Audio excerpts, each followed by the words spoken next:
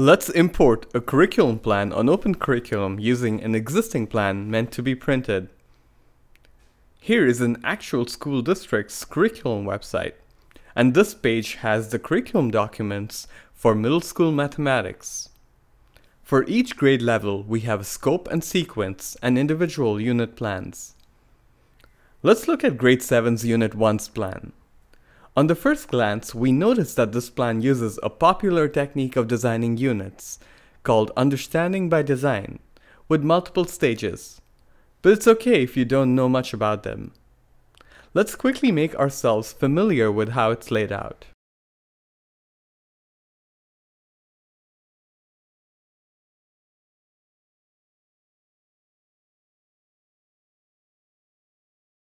Now let's go back to Open Curriculum and create this unit plan inside the larger Grade 7 scope and sequence.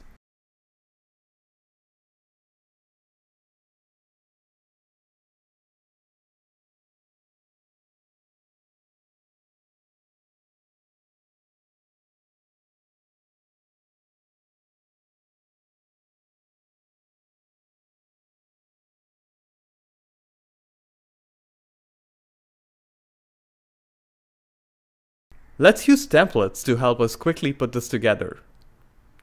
After choosing unit sequence from the first set of options, we can add different parts to include in our unit template. At the beginning of our plan, we notice a description of the unit. So let's add an overview section.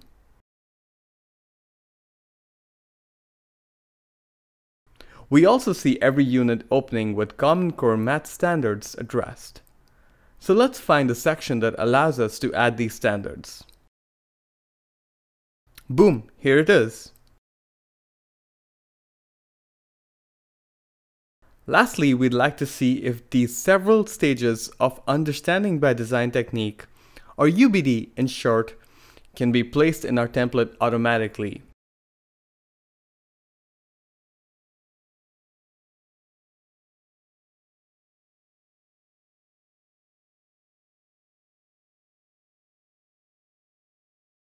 Let's choose this option.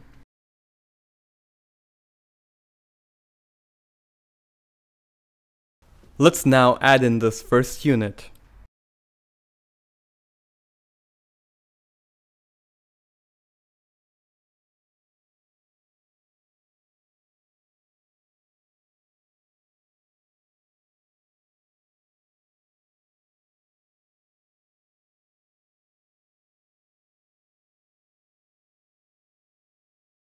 Let's look at the unit. Here we see that the unit has already been populated with the sections we picked in our template earlier. We now have complete flexibility to add new sections, also known as blocks. Or change what we have to make it look more like our original plan. Let's look at what changes might be needed before we start bringing in its content.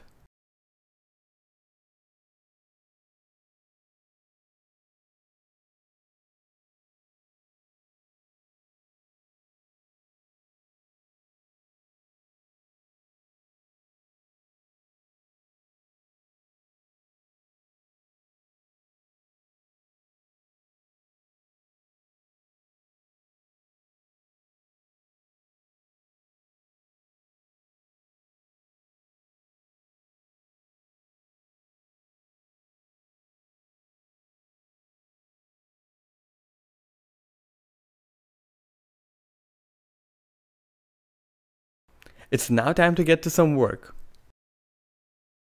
Our plan now looks exactly like the original plan from the PDF document, except it's fluid, interactive, easy to collaborate on and publish. Let's take a look.